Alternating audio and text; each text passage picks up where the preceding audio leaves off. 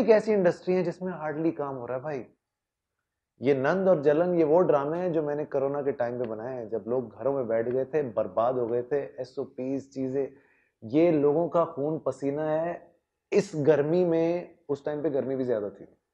लाइटें लगा के, बेचारे बॉडी सूट्स पहन के, मेरे ई का स्टाफ बेहोश हो जाते थे लड़के। एक्टर्स बेचारे फॉलो कर रहे हैं एस काम कर रहे हैं जस्ट बिकॉज़ कि आपकी इंडस्ट्री को किसी तरह चला पाए। चलाया वरना इतने लोग घर बैठते ना ये तबीयत से पता लग जाता सबको हम्म। तो जो चीज़ एक तो चल रही हो उसको मुझे ऐसा लगता है थोड़ा सा लीनियंट रहना चाहिए पब्लिक हम्म। को भी बिकॉज़ इन दी एंड हम टर्किश नहीं हैं हम इंडियन नहीं है हम हैं पाकिस्तानी हमें कोई नहीं बिठाएगा अर्तुगुल भी आया शेर के साथ बैठ के पैसे लेके चला गया ना हम्म। उनके लिए यही थे आप हुमायूं सईद है आपके लिए। भाई हम हैं। मानो ना मानो। यही है यही रहेंगे। हुमायूं भाई ने मुझे सिखाई थी बहुत पहले ये बात। मैं उनको अपना उस्ताद भी मानता हूँ सीनियर है हमारे कि इंडिया इंडिया ये सब छक्के हैं। रहेगा यही और रहा। सब चले गए इंडिया। मैं रह गया। मैं सुपरस्टार बन गया। कोई था ही नहीं। अब सब टर्की जाएँगे। मैं यही हूँ। टर्की एक दिन वीजे करेगा बंद सबके।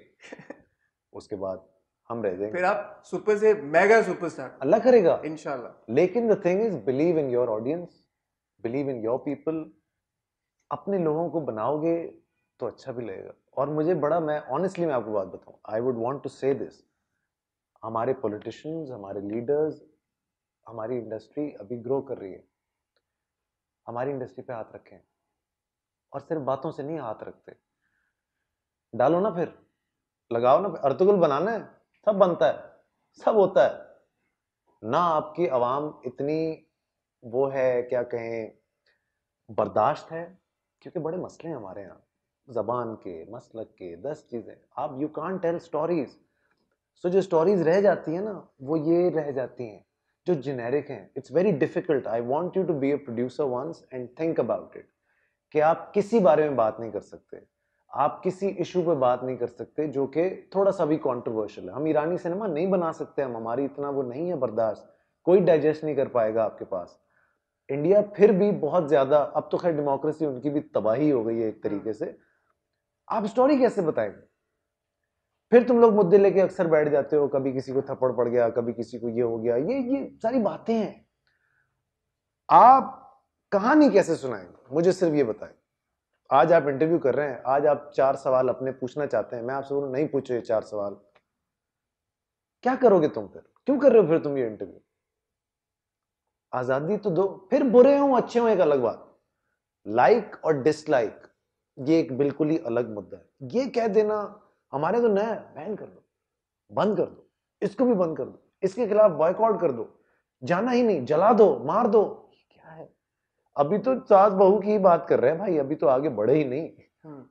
तो इतनी तो एपेटाइट है तो उस इंडस्ट्री को अभी चलने देना चाहिए लंबा।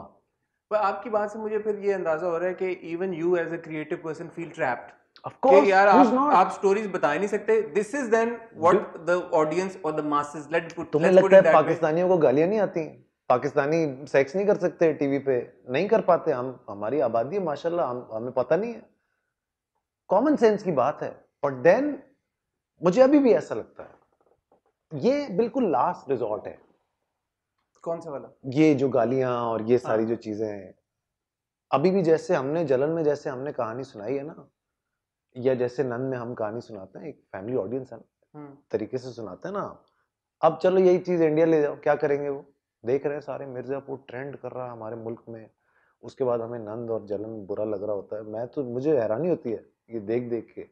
एक दिन मुझसे एक किसी जर्नलिस्ट थी मैं किसी फ़िल्म की प्रेस कॉन्फ्रेंस कर रहा था। गेम ऑफ़ थ्रोन्स नया नया हिट हुआ हुआ था। तो मुझे कहती हैं आप लोग नेटफ्लिक्स और ये गेम ऑफ़ थ्रोन्स टाइप क्यों मैं आप देख रही हैं गेम ऑफ़ थ्रोन्स लड़की थी। कि अब उसको समझ नहीं आया। बीस लोगों के बीच में क्या जवाब? देख रही थी। बीस लोगों में आप कह नहीं सकते कि मैं गेम ऑफ़ थ्रोन्स देख रहे हूँ। यही माशरा है ना हमारा। छुपा लो तो सब ठीक है। बता दिया तो जज कर लेंगे तुमको फ़ौरन से। तो यार ये ये बड़ा बड़ी बड़ी ही जिसे कहे ना डबल स्टैंडर्ड हमारे पास है। No then moving forward what's your vision as a producer then? Are you going to time time evolve होने दो। एक तो ये जो सबसे बड़ा एक गलत फहमी है ना कि टीवी ही सिखाएगा। टीवी नहीं सिखा, सिर्फ़ टीवी का काम है एंटरटेन करना। Let's not make it a school इसको वो पीटीवी का वो सुई धागे वाला और ट्रैक्टर वाला मत बनाओ, हम उस तरफ़ लेके जा रहे हैं। ये कैसे कह दिया?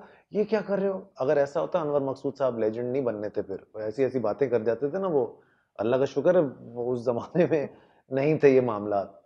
सो आई थिंक इवॉल्व होंगी चीज़ें। अगर ठीक होना होगा अपने तरीके से होंगी। बट टेलीविज़न आपको लगता नहीं है कि इन्फ्लुएंस तो करता है ऑडियंस को इम्पैक्ट नहीं करता बिल्कुल सिर्फ़ टेलीविज़न नहीं है ना यार आपके लीडर भी है। Right now we talking about television television does that और नॉट जैसे थप्पड़ों की बात आपने की जलन में अगर निशा को एक थप्पड़ पड़ता है माँ से ठीक है दो थप्पड़ अस्वी से पढ़ते हैं दो थप्पड़ एमर से पढ़ते हैं पढ़ते हैं पढ़ते हैं हर किसमें चार चार थप्पड़ पढ़ते हैं wouldn't you say that this is something जब इट्स रॉन्ग नॉर्मलाइज हो जाती है एक चीज़। नहीं होती नॉर्मलाइज अगर अगर आप उसको एक, अगर आप उसको ये कहें कि ये बिल्कुल ठीक हो रहा है बेहतरीन।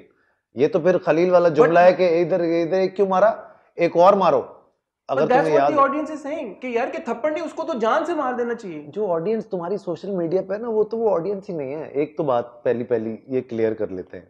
No people who are saying कि निशा को कम थप्पड़ पड़े हैं और थप्पड़ पड़ने चाहिए थे घूसे पड़ने चाहिए थे लाते पड़नी चाहिए थी एंड समबडी सेइंग कि निशा को जान से मार देना चाहिए था। कम होगी लेकिन ऑडियंस तो है ना ये ऑडियंस पहले भी थी हमेशा से ऐसी थी। अब उसको बोलने की जगह मिल गई है करने के लिए।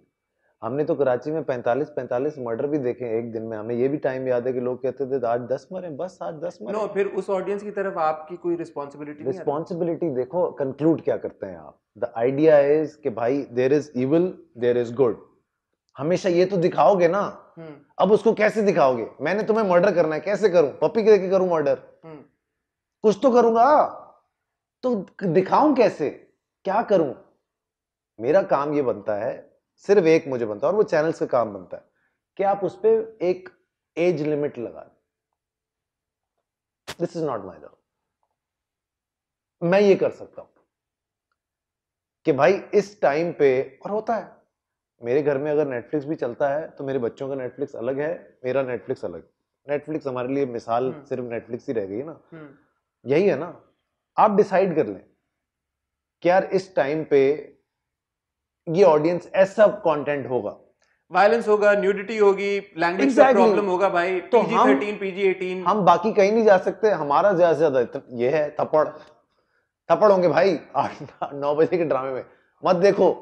ट्रिगर वार्निंग सीधी सीधी बात है hmm. इतना कर सकते हैं but you can't say you cannot eliminate this thing no no you're right and this is something i asked Humayun in my previous interview as well i said why can't we do this why can't we introduce a rating system for our television because i have spoken to children who are as young as 13 years old yeah. sitting in america saying that of course i'm watching jalan of course i'm watching